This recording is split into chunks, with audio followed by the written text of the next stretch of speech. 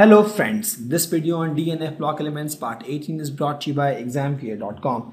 No more fear from exam. So we'll start with the trend in the standard electrode potential. Before that, let's understand some of the basic concepts of standard electrode potential. In fact, standard reduction electrode potential. When I say standard electrode potential, I implicitly mean standard reduction electrode potential. See, you see a galvanic cell, let's start with galvanic cell. In galvanic cell, you have zinc getting oxidized and copper getting reduced, right? And with this, if you see this zinc oxidized at anode and this at cathode. This is something we have seen.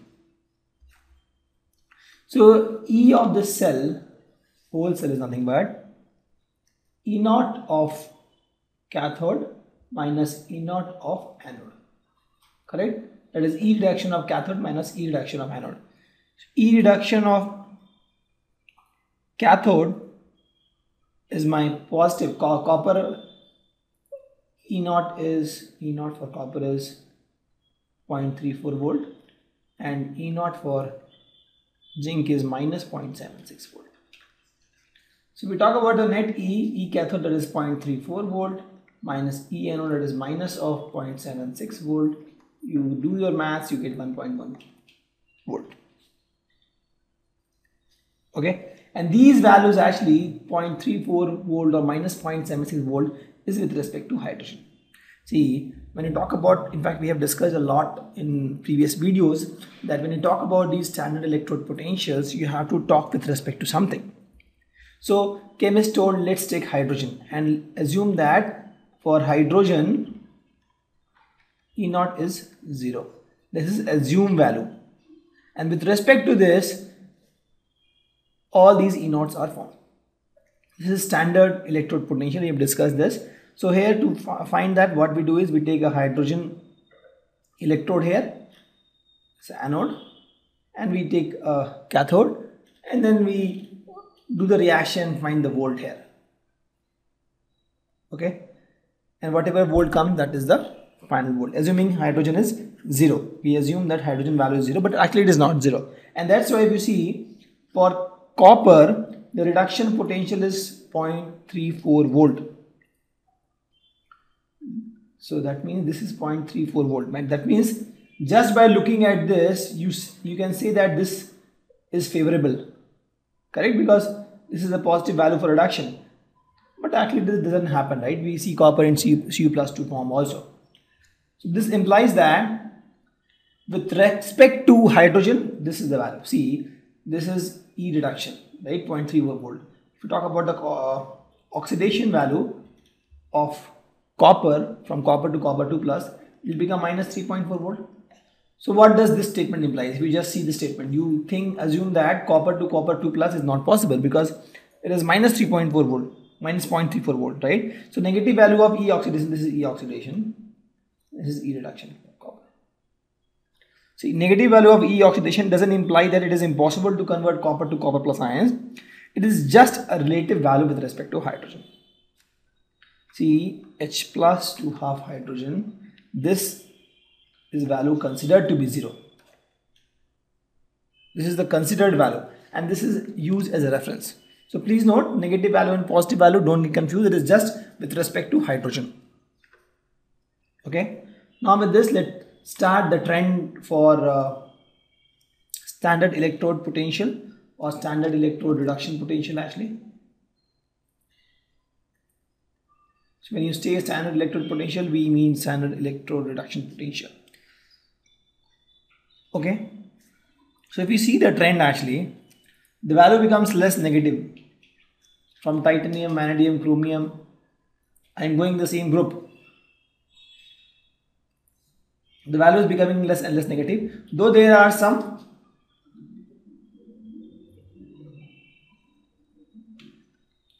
irregularity here but actually it goes on. See minus 1.63 minus 1.1 is minus 0.9 there is an irregularity here again it decrease decrease decrease decrease again there is an irregularity there is some irregularity and we'll talk about the cause of this This is actually because of the stability of the half-filled subshell. For example, if we talk about Mn, so we are talking about reduction potential, right? So we're talking about Mn2 plus to Mn. Correct. So let's talk about Mn2 plus. So if we talk about Mn2 plus, eh, plus electronic configuration is AR 3D5 4S0. So if you see it is half filled. Since it is half filled, it won't actually, this is for Mn plus, it won't actually try to go to Mn. Okay. If we talk about uh, the next irregularity was Jing plus Zn2 plus to Zn. If you see the Zn2 plus electronic configuration, this is 3D10, what is it? This is also a little stable, right? So because of the half filled or full filled uh, D10, they are relatively stable and thus it is difficult to pick. Like, see, higher negative value of standard electron uh, potential implies easier oxidation. Higher is the negative value of this let's understand see for example i'm talking about titanium now right titanium 2 plus to titanium the value is e is minus 1.63 you reverse the reaction titanium to titanium 2 plus e is what plus 1.63 correct this becomes plus since this is plus that means this reaction is easy this reaction is easy. This implies that oxidation of titanium is easy, right? Because you're oxidizing it. Okay, you are taking out the electrons, you're oxidizing it. So the more the negative value of standard electrode potential, higher is easier is the oxidation of the metal. Okay. Again, for example, titanium titanium plus, there are a lot of things required. Titanium solid become titanium gas and titanium gas becomes first ionization energy get titanium plus then second ionization energy get titanium 2 plus so you need delta H uh, of atomization you need first ionization energy again you need second ionization energy and then you get titanium plus but these all energy is compensated by hydration energy or crystal uh, lattice energy and we have discussed this so here focus on this thing first thing is if you go across a series, the value of E naught actually becomes less negative. And why it happens? If you see, it becomes less negative. Why it happens? It happens because increase in the ionization energy, first and second ionization energy. We have seen that. And here, if you see, for this reaction to happen, titanium 1 to titanium plus, ionization energy is playing a role here. If you see, this ionization energy is playing a role here. So these value increase, if you see, these values increasing. Overall, if you see the value, these values increasing as we go across the series okay but there is some irregularity and the irregularity is because of the extra stability of half filled or completely filled uh, Mn2 plus and Zn2 plus ions. Okay? Don't be confused when you talk about standard electrode reduction potential think of the reduction reaction. For that reaction that is the value. Okay? For oxidation reaction you have to change the sign of the reduction potential because standard reduction potential is x standard oxidation potential will be minus x for a given reaction. We'll take some numerical now. See the question says chromium is reducing. That means chromium is a reducing agent right? So that means chromium gets oxidized. And Mn3 plus is oxidizing agent that means Mn3 gets reduced. The question is why this happens. So let's see the electronic configuration of this chromium 2 plus. Chromium 2 plus electronic configuration is argon 3d4 4s 0. Okay, chromium 3 plus. Let's see the electronic configuration. This is argon 3D3 4S 0. Let's see for Mn manganese 3 plus that is argon. 3D4 4S 0 and manganese 2 plus is argon. 3D5 4s see when chromium 2 plus is moving to chromium 3 plus on its own that means chromium 3 plus must be more stable than chromium 2 plus. Similarly if mn3 plus is going to become mn2 plus that implies mn2 plus has to be more stable. So these has to be more stable. So let's see.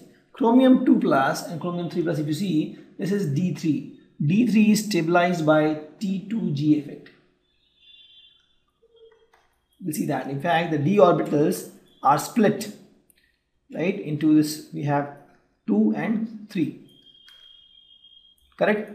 D orbitals has 10 electrons and these uh, 10 uh, 5 subshells and these 3 has the lower energy 2 has a higher energy. If these three are filled then also it is seen that it is stable. And this effect is called T2G effect where three of the electrons in the lower orbit uh, uh, what do you call lower suborbital I can say are filled right? This is called T2G effect. And because of this this is stable. And thus chromium 3 plus is more stable than chromium 2 plus. If you talk about Mn3 and Mn2 if you see this is half filled. So Mn2 plus is more stable as compared to Mn3 plus. Okay? The next question is EV for Mn2 plus to Mn that is reduction potential for copper is positive. What is the reason for this? So we have seen that for copper copper that means Cu2 plus to Cu this value is 0.34 volt.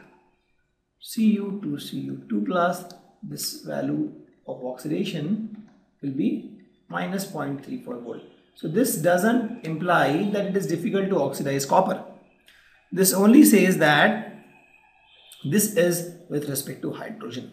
So with respect to hydrogen, with respect to hydrogen, it is difficult to oxidize copper.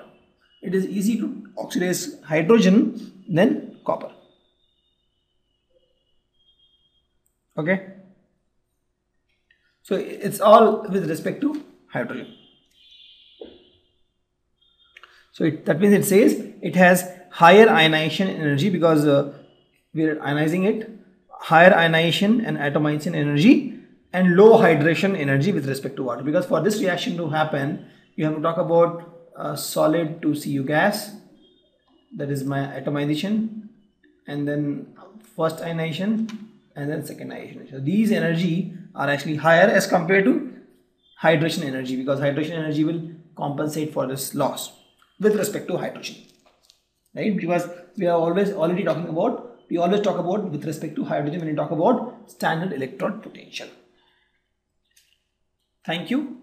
Visit examfear.com to watch more videos attempt free online tests get free study materials find tutors and mentors and much more. Thanks once again